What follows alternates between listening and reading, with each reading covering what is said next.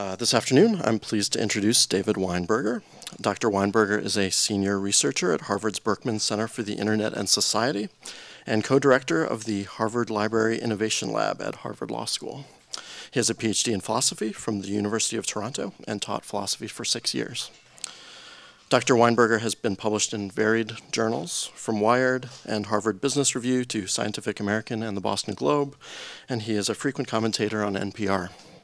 He is also the author of the previous books Small Pieces Loosely Joined, Everything is Miscellaneous, and co author of the best selling The Cluetrain Manifesto.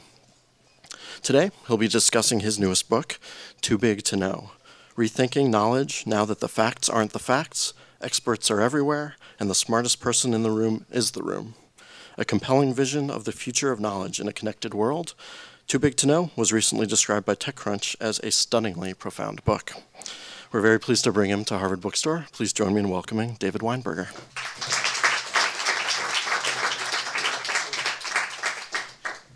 Thank you very much for coming out on a rainy day. Thank you for the introduction.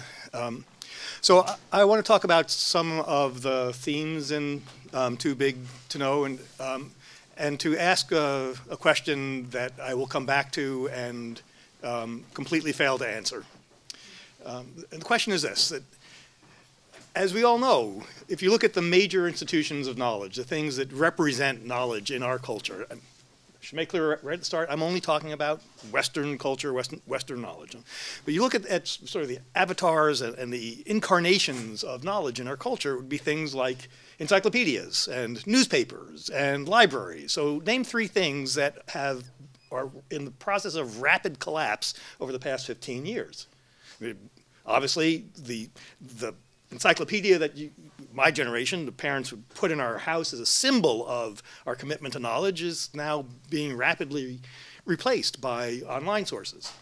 By Wikipedia, well, who am I kidding? You know, by Wikipedia. Uh, newspapers are being disaggregated, reaggregated. We don't know what the future of newspapers are going to be, but that was also a sign of learning and knowledge of, of current uh, events.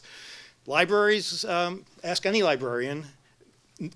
Every librarian is concerned about what the future of library. So, and we have these are physical buildings that look like Greek temples that are symbols in our in our neighborhoods of uh, our town's commitment to knowledge, and all just mm, the most stable and mm, just they're sort of gone. They're on their way out, one way or another. They're at least being radically transformed, and all because of this very small piece of technology, um, a hyperlink. a hyperlink is within a much larger set of technology, but merely the fact that we could hyperlink things together, these staid, robust pillars of our culture just sort of mm, are falling apart. So the question is why, and this is, I, I, think it's obviously an important question because knowledge, among other things, has made a certain promise to us that is becoming actually increasingly important to us, which is um, the late Senator Daniel Patrick Moynihan, I think, put in a very um, powerful way. That you keep seeing this quotation come up. It's um, Everybody is entitled to his own opinion, but not his own facts. And I think we like this quotation because it, it, it promises that if we all, there's all this dissension and noise and disagreement, but if we just focus, if we can just get the focus on the facts, then we can all agree. We can come to agreement and we can live in peace. And that's the promise that knowledge has made to us from its beginning, classically in ancient, in ancient Greece. Uh, but from the very beginning, knowledge has had, has recognized, least implicitly, a really important limitation, which is that the world is much, much bigger than our tiny little skulls. Our skulls do not scale to the size of the universe. And as we develop more and more knowledge over the years, our skulls get no bigger at all. So we have a huge, by the way, in case you're wondering, what's too big to know? The world is too big to know, and we have a very small piece of apparatus to do it with, and so we've had to come up with a strategy. And our strategy in the West has been incredibly efficient, um, amazingly uh, productive, and we've become the dominant species on the planet because of it. But it, it, consisted of, of trying to reduce the size of what we need to know to something we could manage. Very good strategy. So we have experts who break off a brain-sized chunk of, of the world, and they know it thoroughly and deeply, and they are astounding. They're amazing. In a town like Cambridge, we all know genuine experts, and we, I assume we all find them just awesome. So that's one, one big piece of our strategy, and it has the advantage that we can then go to the expert or the work of the expert or the book. If we have a question, we can ask the expert, and we'll get an answer. And the key thing in this strategy is that then we can stop asking. We got the answer, we can trust that answer. If we don't trust the answer, we think maybe the expert isn't so expert, then the expert pulls out a, a second um, a piece of the strategy, another stopping point, which is a credential. You say, oh, I see, you are, you've, you've gone through Oxford, and so I see you are an expert, and so I'm more likely to trust what you say. And we're right, we of course are right to gener generally trust experts. The efficiency in the system of knowledge that we've created is in the fact that we can ask and stop asking. Its knowledge is a series of stopping points, and as I say, an incredibly efficient and wonderful system that we've made for ourselves. But it's not how knowledge looks. That's not the shape of knowledge itself. It's the shape of knowledge when its medium is paper, when it's books and libraries. Books are disconnected. Wonderful medium. I'm talking in a bookstore. I've written a book. I'm not going to defend books. I'm going to assume we all sort of like books.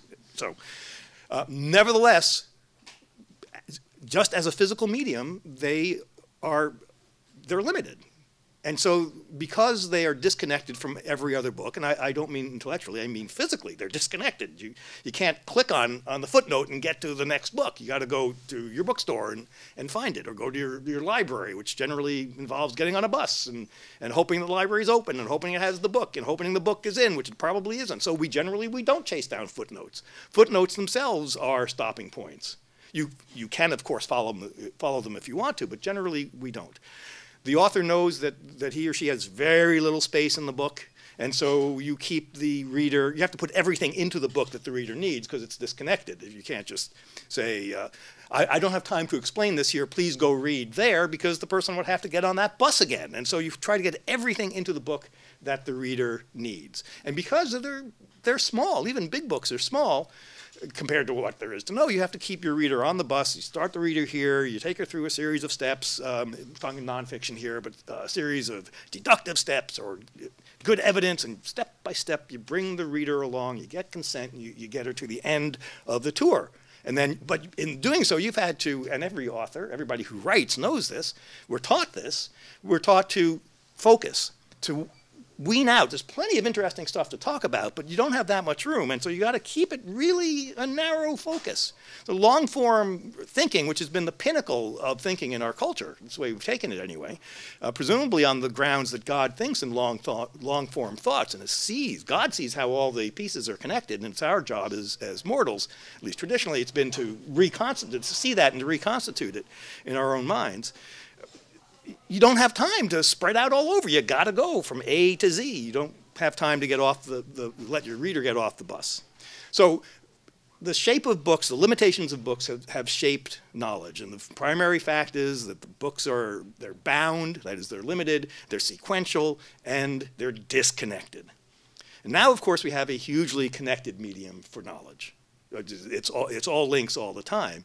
And inevitably, just about, that changes the shape of knowledge. It's what we should expect, and it is, I think, indeed happening. So um, I want to um, talk about three different properties of the network that I think knowledge is picking up from its new medium, from the network. And the first is that the network, the internet, is incredible. It's super abundant, right? We don't know what the final capacity of it is there is any final. There's way there's a lot of room, way more than in any known library, and so knowledge is also taking on this this property. So uh, Clay Shirky, who many of you will know is, uh, is a brilliant internet thinker, um, said a few months ago that there there's no uh, such thing as information overload. There's only filter failure. Uh, and he's trying to provide some historical continuity here, and I think he's right. That you look back, and we've gone through periods. Clay takes it back to the printing press. You can go back to Seneca. Ann Blair at Harvard is, has a wonderful book called "Too Much to Know," um, hugely distinct from "Too Big to Know," uh, which is a very serious and, and, and readable history of information overload throughout history. So yeah, ha this happens has happened frequently in our history, and all that it really means is that we have to, we have to adjust the filters because the world is, is, has always been too big. So we, we always have filters just to readjust them. So I, I think there's great value and truth and wisdom in this the sense of historical continuity. Um, basic message is don't freak out about information overload. Happens all the time. But there are also some discontinuities, and I think it's worth pointing at them. Um, I want to point quickly at two. Um, the first is that the amount of information that we're dealing with, compared to even just a few years ago, is in fact, this is not Seneca, whose library had, you know, had a handful of, of books and there were too many. This is, well, so here's where the term information overload comes from. Maybe this is the way to get to the point. Um, it was popularized by Alvin Toffler in his 1970 book, really good book, um, Future Shock.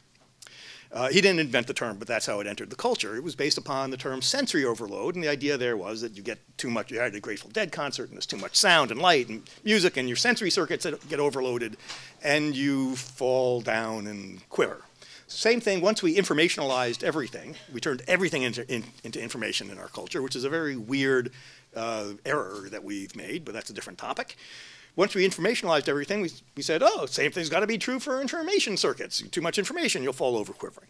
So what did information overload look like in 1970? Well, after Toffler popularized it in 1974, some marketers did some research, some academic research, to see what, that, what information overload would be. And they took 192 housewives, if you'll pardon their expression, they, 192 housewives, and they showed them 16 different products, each of which had a label that had 16 different categories. The categories were things like uh, calories, and those cate categories are simplified down to yes, no. So uh, calories, low or high. 16 categories, 16 products. This was enough to diminish the mental capacity of those poor housewives. Too much, that was information overload. 16 categories, 16 products. The marketers therefore concluded it was in the interest of the customers, of, of the housewives, to restrict the amount of information below that. 16 categories, 16 products. This is not what we think of as information overload. This is a poor, pathetic joke about information overload. Now the amount of information that we, that is orders and orders and orders and orders of magnitude more. So there is a discontinuity. Historically, we're talking about much less information. The second discontinuity uh, from the tradition of information overload um, pardon me, is in the nature of filters. So when Clay Shirky says no such thing as information overload, only filter failure, yes, but as I'm pretty sure Shirky would agree, the nature of filters is has changed in the digital age in a way that it hasn't for 2,500 years, or throughout human history, actually. Because physical filters filter out. You get you separate into the stuff you want and, and then into the dregs, and you throw out the dregs. So if you are on the acquisitions committee for your local library, you accept some books. A million books are published a year.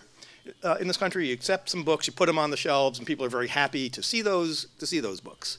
What people don't see are the rest of the million books being pulled away in dark, sad trucks.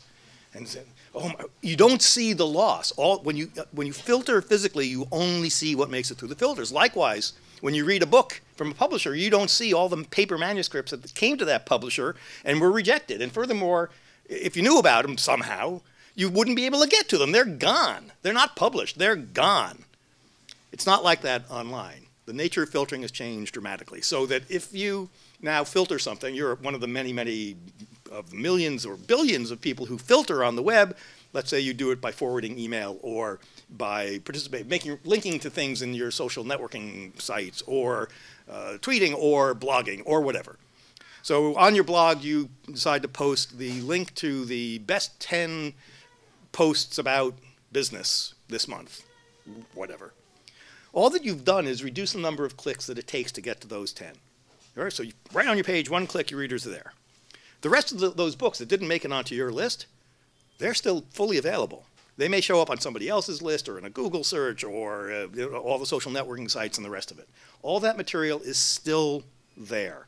It is not at all like it used to be. And not only is it there, we're constantly reminded, uh, at least because the, um, the search engines have a good economic reason to keep telling us how many things they're not showing us. So you search for information overload at Google, you'll get over 3 million hits, and it will tell you. 3 million, showing us 10, 3 million hits in 0.19 seconds. They're constantly telling us how much is there, and it is genuinely there, genuinely available. So online, we don't filter out, we filter forward. And this, is a, this makes the abundance not only visible to us, but also accessible to us. And that is a big discontinuity from the old idea of information, um, information overload and filter failure. So there's too much. And so the, the strategy that we have, have evolved with the ability to filter forward is not only to curate. We will always continue to curate because every time you curate, you're doing something of value. But before you curate, we are also now building collections that basically include everything. That's a pretty good strategy. Include everything you can. Um, because you can't, whatever you curate, you're making decisions about what your users will be interested in. And you can make good, you can make better or worse decisions, but you can't make perfect decisions because you can never tell what your users are, users are going to be interested in. You can't tell because people's interests vary and are wildly, we're pretty squirrely as a species. And you can't tell because history is crazy. You can't predict that the notes from the library meetings of 1960, 1996 in Wasilla, Alaska, suddenly are going to turn out to be really interesting and important in 2008. You could not possibly have predicted that. So every time you curate a collection, you are actually diminishing it diminishing its value in some ways. So we're now including everything and we're providing tools to allow people to filter on the way out. And much of the history of the web can be read as the development of incredibly powerful tools for doing this. But I'm not, they're just time, I'm not going to talk about them. You, you, use them every day in any case. So second characteristic I want to talk about of knowledge that it's picking up from the nature of the net is the net is incredibly messy. There's nobody organizing it. There's no central control, which is the only reason it scaled and succeeded. So it's inherently, it's a messy environment. So this is really peculiar for traditional history because in the West, traditional knowledge has meant knowing a thing's place in the order of the universe. You want to know what a bird is, you have to see how it's like other birds, other things in its category, and how it's different, how that category differs from other categories. This is what knowledge has been for 2,500 years in the West. It's pretty Aristotelian, you know, pretty straightforward Aristotelian, but that idea has stuck. Everything has a place, everything has an essence or essential definition. Those definitions go together in a perfect order that is actually quite beautiful. Um, in a sort of Christian uh, world, this is an order that is designed by God, and it is our task as rational animals, that's our essence, that's to know us is to know that we're rational animals, or as, uh, as, as creatures made in the image of our maker, our job is to see that order where everything goes. And so we, we've spent thousands of years, literally thousands of years, arguing about whether this is one of these or one of those. What is that order? This is what we do in the real world all the time with, with objects, not with ideas, but with objects. So when a bookstore, such as this one, is trying to decide how to organize its shelves, it comes up with an order and says, well, we'll do it topically, and then we'll do it by author's name within each topic perfectly reasonable way of doing it. But if somebody else said, no, no, no, we should do it purely alphabetically by author, that's how we, somebody would have to win that argument and somebody would have to lose because there's only one way you can organize physical things. You only get one principle of, of organization. It's not like that online though. So if you were trying to organize your, your uh, music, your digital music, you won't have that argument. What is the right way to put together your, your collection of, of MP3s? Do a playlist. Do as many playlists as you want. Do one that is by genre, one, one by the place where you first heard it, one by the mood, one by the drummer's, drummer's last name. Doesn't matter. Do them all. And each one of those adds value. It's a huge mess when you put them together. And when you put them together with the other billions of playlists that we've generated on this planet just for playlists, it's a huge, huge mess. But that's okay because those messes can exist simultaneously. We can have multiple ways of ordering. In fact, the very idea that there would be a single order of the universe no longer makes sense to us. It's not simply because of the net. We have a couple of generations of postmodernism uh, driving us, and I think that's, that's right. But the idea that it, it's a useful argument to have about what the single order of the universe is, that idea just seems silly to us now. Instead, we have we are very happy ha happy having multiple ways of categorizing and tagging and understanding and contextualizing objects on the web. And we see that I think quite even though they don't go together they're hugely messy we see that I think quite properly as adding to meaning. In fact if you wanted to scale meaning the only way to do it is through messiness. Messes scale meaning. Third property I want to talk about is um, unsettling. In fact, it's the fact that knowledge is now unsettled. This is something, again, the third property that knowledge takes from the nature of the net. Um, for every fact on the net, there's an equal and opposite fact. If you go out on the net, whatever it is you think is right, you will find another opinion asserting, usually with a great deal of confidence, that no, it's something else. And I don't want to stand too literally behind this claim, although I sort of want to as well. Pretty much true. There is nothing going uncontroverted on the net. If you spend any time on the net, you are very, very likely to conclude what I think is the truth, namely, we don't agree about anything. We, we don't agree, and as more people come on, as more cultures come on, as, as more types of people, we agree about less and less.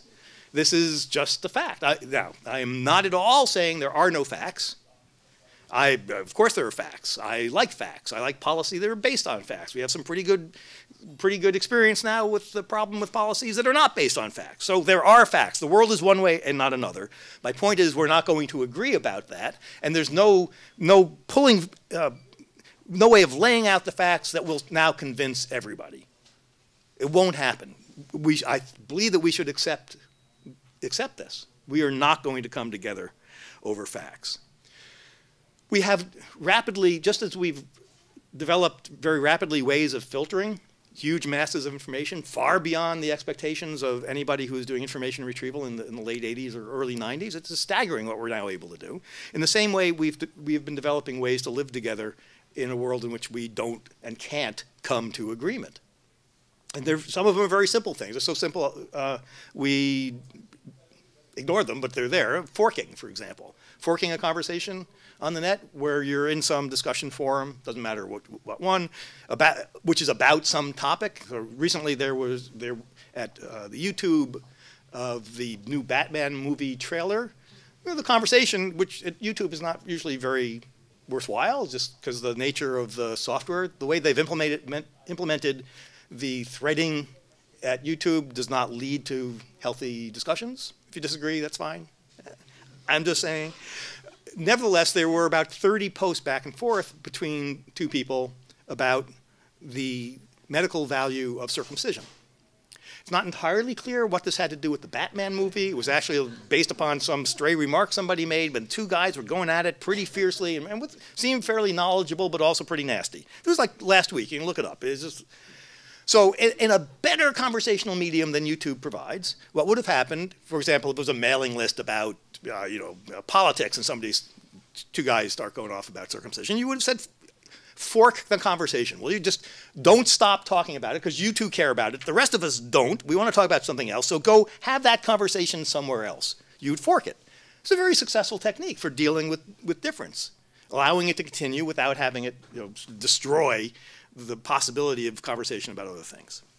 Um, another technique, so I want to mention two more. Um, I'm going to try to be really brief, but they're, um, they're really important. So um, the first is the rise of namespaces. And namespaces, you all know what namespaces are, even if you don't call them that.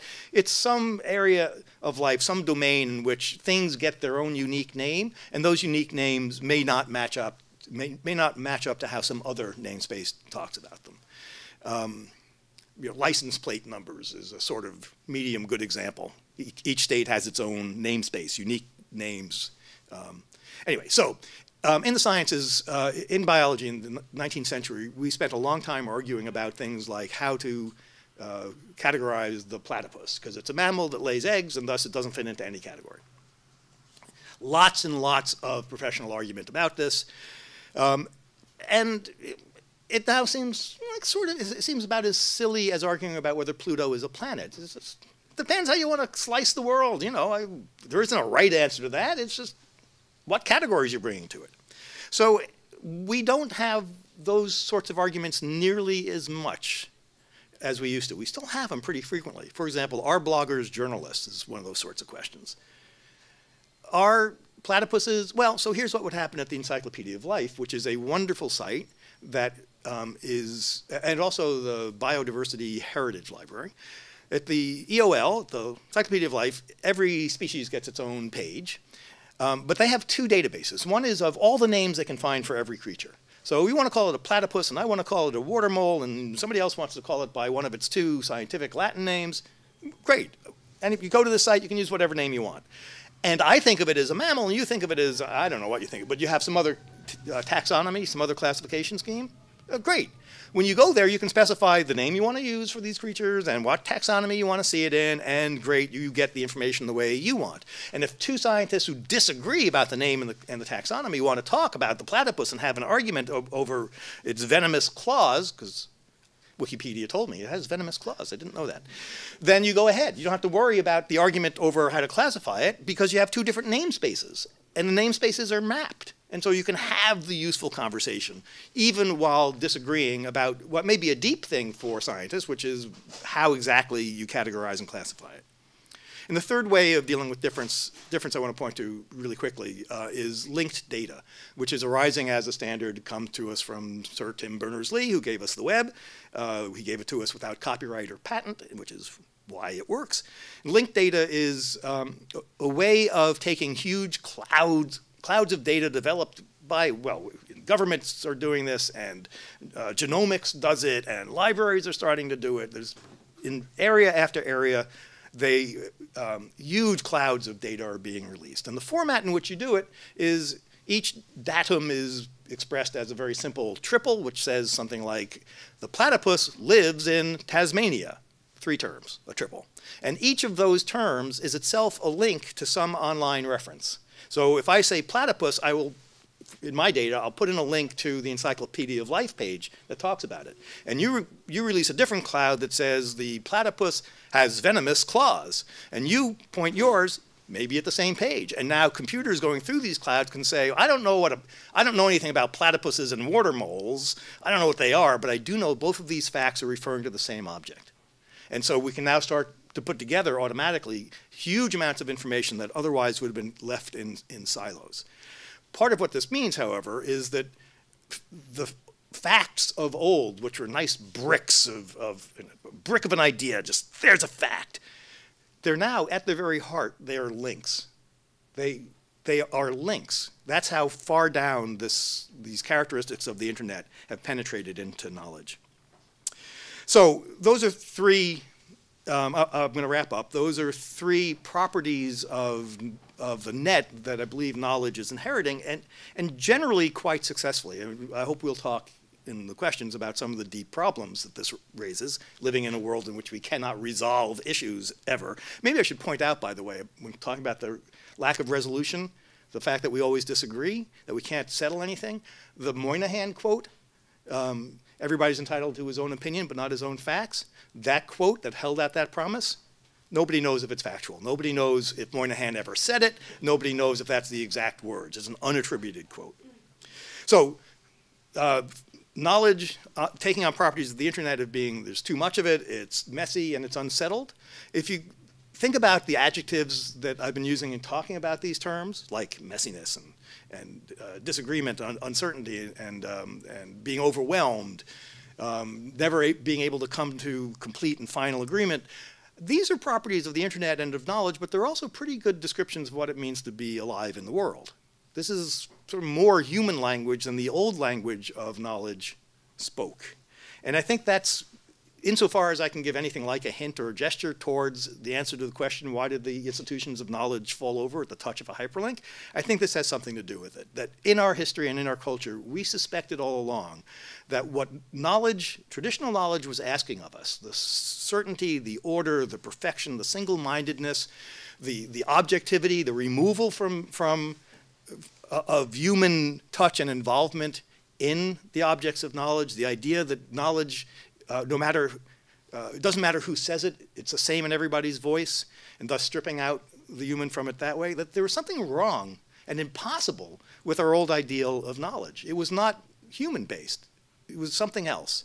And the properties of knowledge that, it, that it's inheriting from the internet, I think, are in fact far more human ones. That's why this type of knowledge feels so familiar to us. It's why we're, we're willing to rush to it so quickly, and it's why we are willing to abandon the old institutions of knowledge so quickly. One of the prices of this, however, is that the old dream that Moynihan expressed, among many others in our history, that knowledge will be how will bring us together, will be the thing that we that comes us, uh, brings us to agreement um, both intellectually and, and politically. That knowledge doesn't do that. It's not going to do that. That promise is not going to be fulfilled. Knowledge is not going to be the thing that brings us together. The best that we have is not a knowledge about which we all agree. It's a world that we all share, and at best share with a noisy peace. Thanks.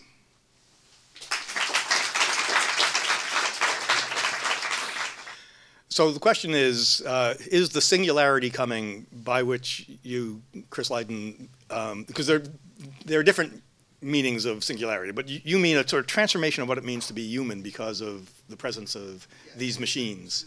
That you will be as much technological, a technological product as a biological product. Yeah, so, uh, in, and in particular, will you be as much a, a technological product as a biological product? Um, so I don't know what's going to happen. I, I, I don't think there is a thing that's going to happen. It's going to be whatever we do. So we're going to have to live our way through it. So I don't actually have a prediction, but I do have. Um, so, but I'll say something that's not a prediction, which is um, we are always uh, part biological and part technological. That's it seems to me pretty pretty much a constant through what we count as human history. So humans with fire, fire was pretty transformative, and it's a technology. You know, being able to manage and control fire. Um, uh, reading and writing, hugely. We can't, we can't imagine thinking without thinking uh, uh, in, in writing's terms. We can't imagine a, a, culture. We can't imagine what it would be like not to be able to read just the signs around us. There's no, there, there's no way of separating the two. So it seems not even a prediction to me to say, so this is the uninteresting question to your interesting uh, answer to your interesting question, um, that yes, we will be a mixture of bio and tech um, inextricably because we already are. Uh, the question is how much different are we going to be um, to the extent that we should um, give a point in time and say, ah, or something like that, before singularity and after singularity. Um, I don't know. You never know. I mean, there's all sorts of implant stuff that uh, maybe and enhancements that maybe will will bring us to that point. On the current trajectory, um, I think it makes sense to talk about the internet as a as a new age worth demarking. Um, just as the printing, and I think it's on the order of the printing press, and now this new age. In some ways, I think this is a bigger breach. It's actually closer to the invention of, of writing and literacy. Um, nevertheless, yeah, we, we've had a singularity, and it's called the internet. Whether we're going to head towards one where uh, one in which um, prosthetics and genetic technology and, and, integration with further integration with machines of connection, I don't know.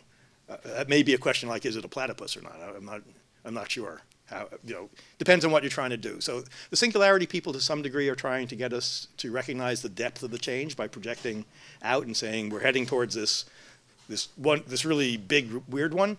And I think it's useful to, to take, take seriously the depth of the change, although I am not as convinced by the particular vision of at least some of the singularity people. Did I talk my way around that enough? Because I can do more. Is there one piece of the singularity of transformation, including immortality, that you believe more or less? All right. Uh, so the problem with immortality there's a, there's an opening, a beginning of a sentence that can't possibly end well. So, um, the problem with the immortality argument, um, insofar as it relies upon the notion that we can download our mental states into a machine and we can keep that machine backed up. So there's two threads in the singularity thing that I, I understand. One is that, the other is uh, sort of auto renewal of all our parts forever. And I'll put that to the side.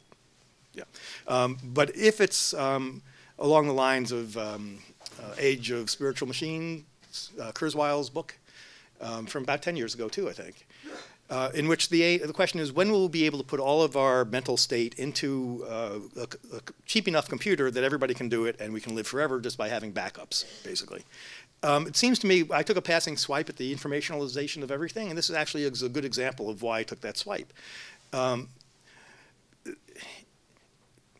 information is a measurement right? It, it, it is a measurement. It's a, uh, that's how it's defined.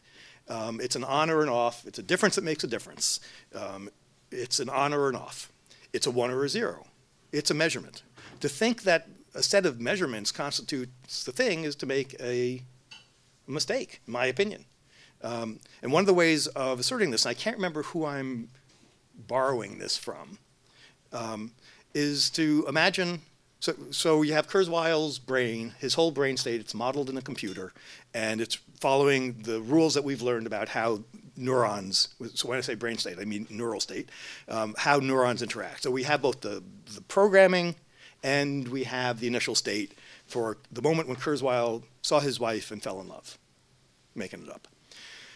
Um, Kurzweil would like to think that that is the computer running that is in fact Kurzweil. He can outlive his body by being that program. But here's why I don't think that's the case. Um, that, the program consists of a series of ons and offs in, uh, in transistors. It's actually the amount of voltage. It's above this much or it's below this much. Well, that's symbolic. To say that on is a high voltage and off is a low voltage, that's purely convention. That's a series of symbols. Um, it's a series of, it's, it's just the ones and zeros, but that is a symbol. So if you imagine a cloud of dust somewhere in the galaxy, and its particles are rotating, and it's 100 billion particles, just as 100 billion neurons, and some of them are rotating this way and some that way, and we say the ones that are rotating this way, they're on, other way is off, and oh my goodness, this particular cloud, it just simulated the 100 billion brain states perfectly for, for Kurzweil falling in love. That cloud is Kurzweil falling in love with his wife. That can't be right because we're the ones who specified this way is on and that way is off, and we could just as well do it the other way, in which case it's not. It simultaneously is and is not Kurzweil falling in love with his wife. So I don't, I don't buy, because I view information as, as symbolic, as a measurement that is symbolic of something, I can't buy that it therefore can, can actually be the thing that it's measuring.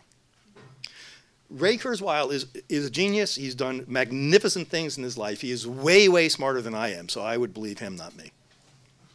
Well, we're, we're going to find out eventually.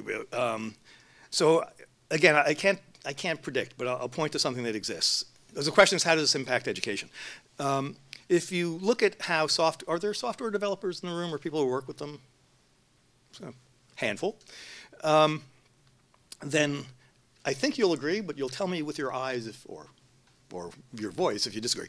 Software developers have created the most the best rapid learning environment in maybe the history of the species. So if you have a question about how to do something or why your code isn't working or you want to learn a new, new language, you can go on the web, you can use a search engine, you can go to any of a number of sites, you will get answers that are complete, that are community driven, that are often um, iterated on until they get better and better. Uh, you'll find the complete code that you were trying to write, there it is, somebody posted it for free because this is a wildly collaborative environment.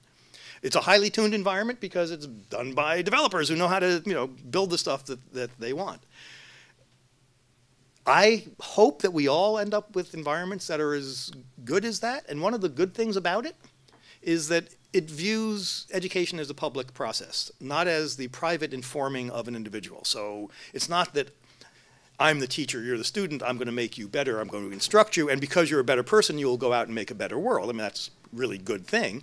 But it's not just that. It's that it's the notion that if I instruct you, if you are learning from me, then that process, that learning itself ought to be made public. When I ask a question at, at a software site, I don't know how to do something, that answer is there permanently. It's written often in such a way that others coming in will be able to, to learn from it. The notion that education is not a private act but a public act, I, I think is a is an important idea that's percolating through the system. Not always through the educational system yet, but through, through, through the net and through the generation that's growing up on the net. That it's selfish for education to be just of me. So educating, I, I hope that educating in public will become a norm. Um, so let me, by way of rephrase, uh, repeating your question, rephrase it and see if I get it right. I mean, one of the ways of rephrasing that is um, how do we come to trust, how can we come to trust facts enough in order to make good decisions? When there are no longer any facts. Well, there are facts. There are lots of, uh, let me, so the subtitle, part of the subtitle of my book is not uh, now that the facts are, now that facts are not facts. It's now that the facts are not the facts. And I admit it's a subtle difference, but it's, I, I want to insist on it because there are facts. There are things that are right and there are things that are wrong and will die if we don't get that right.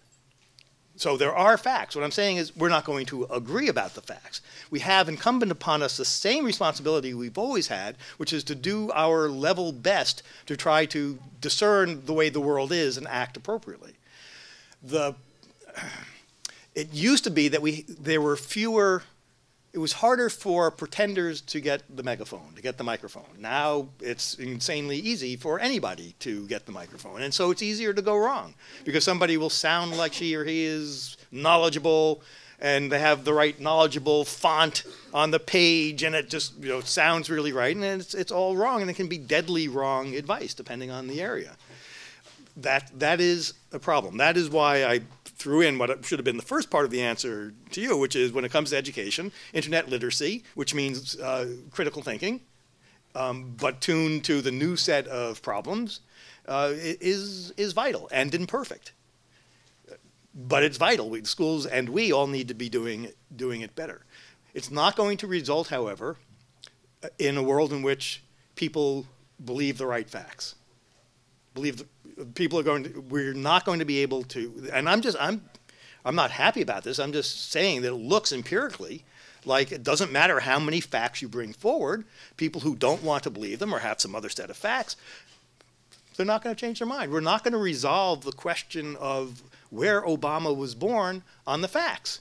Because we did resolve that on the facts a long time ago, but it doesn't seem to matter. Uh, I'm sorry, I'm in Cambridge, I'm a Democrat, so I'm taking that example. You can do your own. It, it, the, fact, the facts are not the facts. We no longer have um, such a, a narrow uh, orifice through which information is communicated that it can be managed and controlled by responsible experts. I should also point out, though, that in the age of responsible experts who are forcing things through a very small aperture, you lost a lot there. That system, first of all, there were errors. There were syst systemic, well-known systemic problems with, say, what was getting published because it was dominated by uh, white men.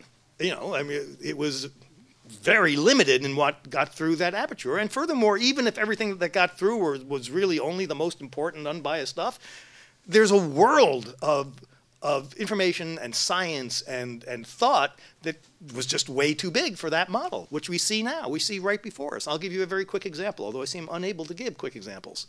I'm going to anyway. So this is, this is from Michael Nielsen, who has a book um, which you should get, uh, uh, Reinventing Discovery. And he, he, came through the center I'm at, and he um, gives this example. You know the faster than light neutrino controversy? know, findings that, in fact, these particles may be moving faster than light, which would throw out much of relativity theory. It's a really big issue. So this, these findings were posted at arXiv.org, A-R-X-I-V.org, which is a site that scientists can go to to post whatever they want. No peer review, just post it. Preliminary results, post it. Was posted there, huge flurry of interest uh, and controversy. And article after article were posted there uh, again without peer review. It spread out across the web, mainstream media. Mainstream media, you'd get some good articles, but if you didn't understand the article, you had nowhere to go within the print media. And so you'd go out on the web and you'd find people explaining it at every level of education. To people who are advanced, people who don't have the math like me, you'd still get good explanations. Hypotheses, thrown up and counters and all. All of this happened on the web over the course of a few months. It would have taken years to go through the peer review print process. It would not, and it would have been a tiny slice of the information that was developed.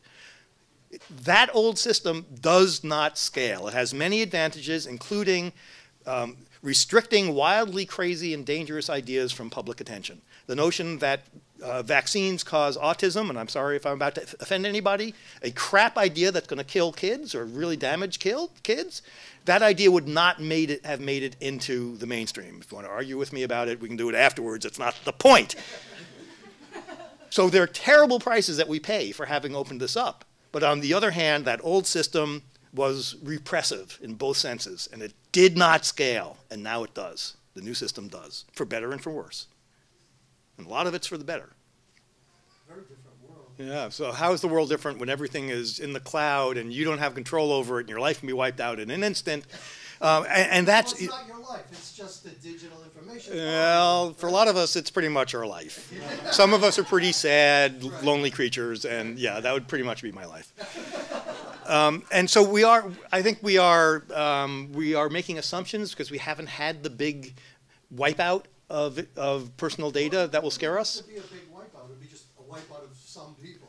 you know. Well, but that's not, so, that has happened, of course. I mean, there's, sure, I mean, there are people who um, uh, have lost, so there's a small example, but uh, people have lost all their YouTubes. And a big part of their social life has been around these YouTubes, or their Facebook account was deleted and they can't get it back, or that's a, a disaster for them socially because that's where they're leading much of their social life, which I, I don't think, frankly, is unhealthy. I mean, it's, it's, we're very social creatures. We'll fill every interest this. So it, it does happen to individuals. What we haven't had is the massive outage in which an entire population loses some important segment of its data, at which point uh, the fact we will lose some trust in the mega Or corporations actor that- that might or a bad actor, yeah, You know, I'm gonna, Yep. Gonna get rid of this country, uh, for example. yeah.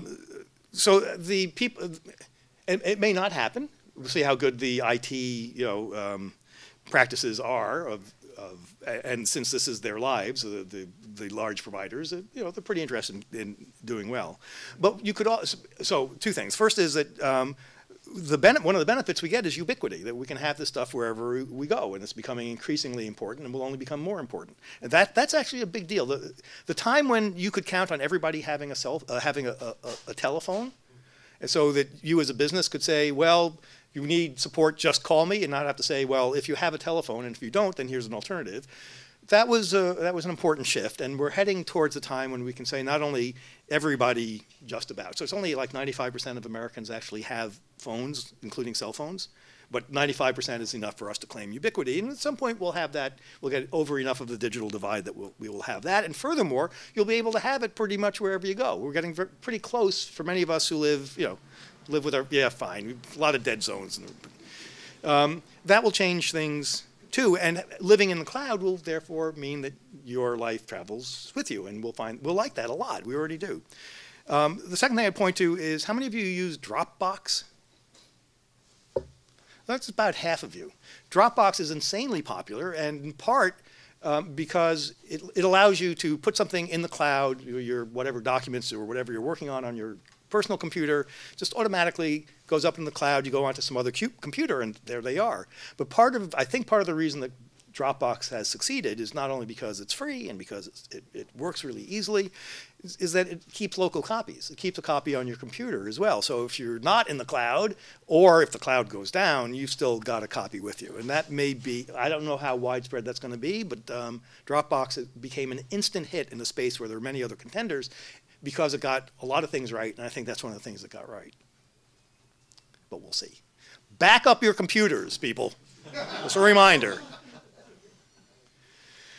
So, what most excites me and concerns me about knowledge in this age? Uh, so, most exciting maybe is the rise of knowledge networks, which is actually the main theme in the book. I forgot to mention.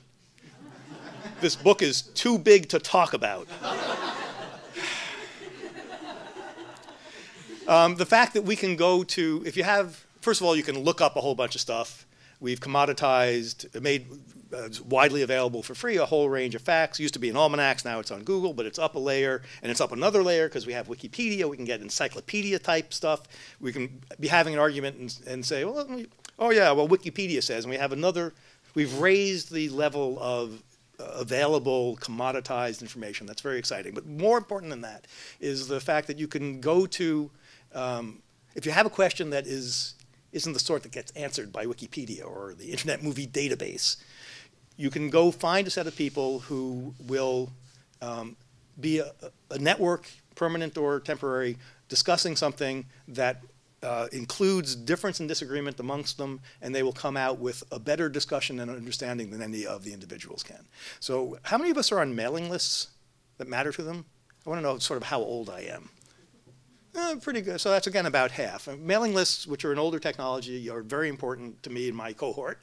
Um, I'm on mailing lists that have been going on for years, and it's sets of people who know a lot more about topics I barely know about, like FCC policy, and that's a huge source of news for me because they're the ones who are surfacing stuff that will never make it into the mainstream because the mainstream, you know, not doesn't care that much about it, and they'll go at back and forth arguing about what this means and that is an unbelievably rich source of knowledge. And it's only because these people disagree with one another to some extent that the mailing list is more knowledgeable than any of the individuals.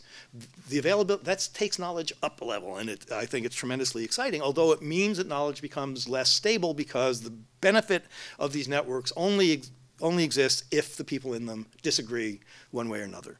The, I'd say the main thing that I worry about is, um, so here we are on the net. There's all this difference and disagreement, which is lovely and important because that's where knowledge and wisdom comes from. But there is some pretty good evidence that the net is very diverse, but our experience of it is hemmed in by our own. We like to hang out with people who are like us in every regard, but let's just talk about in beliefs. We like, and when you do that, there's also evidence that your own beliefs harden. So you don't get more open on the internet, you harden, and you become more extreme. This is the echo chamber argument. This is Cass Sunstein, Republic.com, um, Harvard law professor who's currently in the Obama White House. Uh, he puts it forward most strongly. And I spend, uh, I, I, spend a good deal of time in, is it okay for me to refer to my book? I feel like I'm plugging it. I, I guess I am. So I spend a good deal of time in the book on the echo chamber argument, which actually worries, it worries me and we have to be working against it at every level, personally, individually, with our children. But I actually am not quite as worried as other people are. Um, I think we are encountering more diversity than ever before. Right? This is a comparative thing. It's how it was and how it is. I think we're encountering more diversity of opinion than ever before. We are more aware of the diversity of opinion than ever before than when we were getting these newspapers rolled up, thrown onto our porch that gave us this much diversity. You know, there still is no socialist newspaper column, columnist. You cannot be that much to the left and make it into a newspaper. Newspapers, we all love them, God bless them, they're very narrow slice of, of life. And now we are at least aware that they're, we may call, call the other opinions crazy, but at least we're aware that they're, that they're there. And finally, um, I'll just sort of tip my hat to this because it's too big a topic, but the, behind the echo chamber argument, I think, is a, an, an, enlightenment faith that um, the only real and good conversations to have are among two people who disagree fundamentally and agree to be open to one another and to work their way down to fundamental principles and facts. And one may be, so the, our, the stereotypical one, wrong word, paradigmatic one would be a Jew who is talking with a neo-Nazi and says, my friend, we have many differences, but let us reason together. We can maybe we'll find some common ground. We'll come to agreement. I, and be, for this to be a real conversation, I am as open to change and becoming a neo-Nazi as you, my friend, are open to becoming a Jew. Not only doesn't that conversation happen, it can't happen because conversation requires so much agreement to go forward. You have to agree on language and topics of interest and norms of conversation. You have to agree on so much in order to have a productive conversation that the critique of the net that says it does, it's not enough, people who disagree wildly are not encountering each other enough, I think is sort of has a romanticized and misleading idea about how we talk with one another, what the conditions for conversation are. So in that regard, I'm not as exercised about it, but I do fully believe that we have to do everything we can to try to open ourselves up and open our children up. So sort of a I'm sort of rejecting some of the fear and premises of the argument, but recognizing that it's, it is an important thing to counter. Um, how concerned am I about the protection of intellectual property at the expense of, of free speech and free thought? Um, and I'll give you just a. am um, I'm, I'm personally very predictable on this topic. I mentioned I'm a sort of Boston, Cambridge, Democrat, liberal, Jew guy, so you can pretty much predict where I stand on this.